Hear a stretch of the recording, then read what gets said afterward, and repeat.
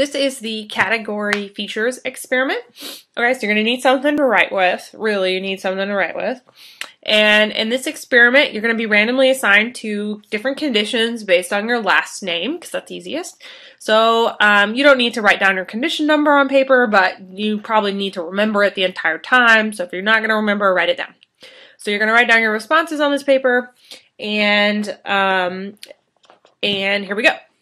So for this experiment, each group is going to see a different series of categories. So your job is going to be to write down as many features that are common to the members of that category. So do that for only your category. Now it's kind of confusing, so let me give you an example. uh, so everybody whose last names start from A to I is going to be condition one the entire time. So write down condition one. Everybody whose last names are J to P are condition 2. And everybody whose last names are Q to Z, so the end of the alphabet, is condition 3. And hopefully that'll split people up pretty evenly. Um, and so what you would do is if you were in condition 1, so I would be, my last name's Buchanan, uh, I would write down features for fruits.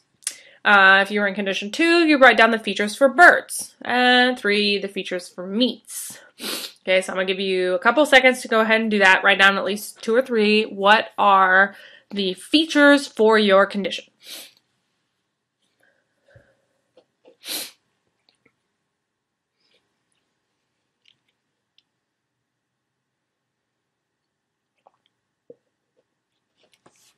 All right. So if you're in the fruits category, like I was, you could have written things like they're sweet and they have seeds and they're tomatoes because tomatoes are fruit. For birds, you could have written things like flies, lays eggs, has feathers, has wings. Okay, for meats category, you could have said things like animals, protein. So when you write down the cat uh, the features, go ahead and write down the category as well. Um, so we can look at them at the end. You're going to have a minute for each trial, so make sure you know what condition you're in. If you're not sure, back it up and look at it. Um, and you're going to write down the features for the category that is in your condition. You're going to do four or five of these, and then after a minute, it will flip to the next trial. So keep your eye on the screen. okay, so if you're ready, let's go.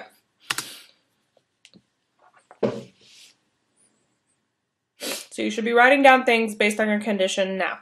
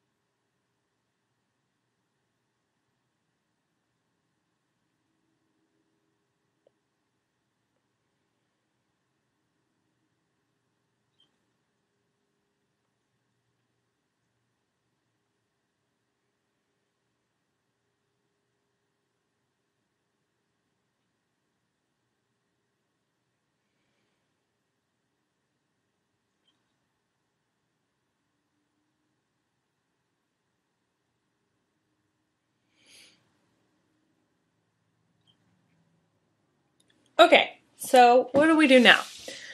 Um, if you are in condition one, count how many things you wrote down for the clothing and vehicle categories. Um, if you need to back up and figure out which list that is, you can pause the video and do that. Uh, for condition two, count how many features you have for tools and toys. If you're in condition three, count how many features you have for furniture and weapons. Add all that up, divide by two. That number is the average number of cate uh, category features for global. So I will give you a little minute now to go and add those up.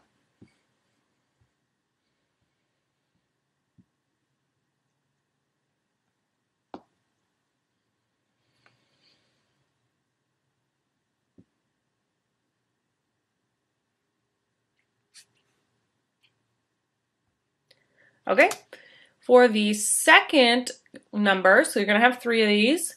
Uh, in condition one, count how many features you have for firearms and carpenter's tools. For condition two, lamps and jackets.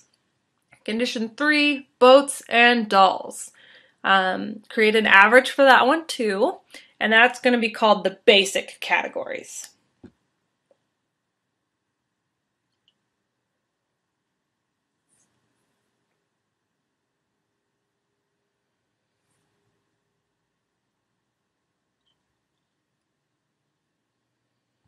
All right, last one. So the final two uh, for condition one do desk lamps and Barbies. Condition two, sailboats and rifles. Condition three, raincoats and hammers. Um, add that up, divide by two, and label that number specific.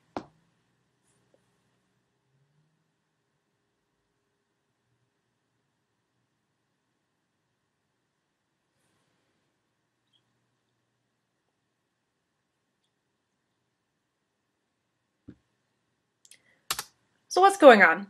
This is an experiment that was originally performed by Rosch, um, and it looks at uh, the different levels of categories. So global categories versus basic categories versus very specific categories.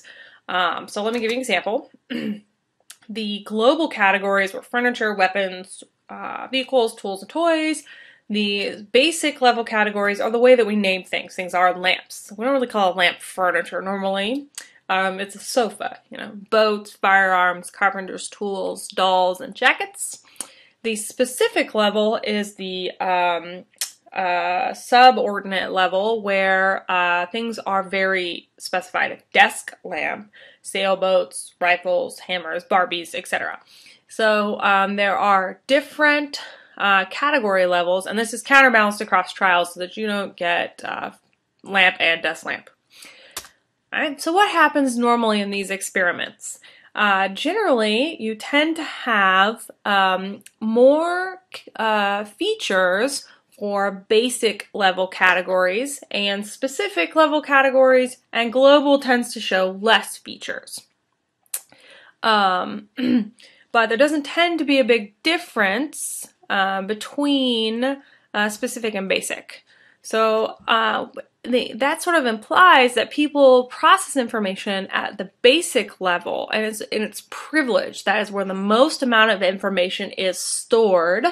Um, and it's the the uh, part of the brain that does the most work, that sort of thing, and so it uh, provides the most bang for your buck. So calling things a desk gives you the maximal amount of information without being too specific or too vague.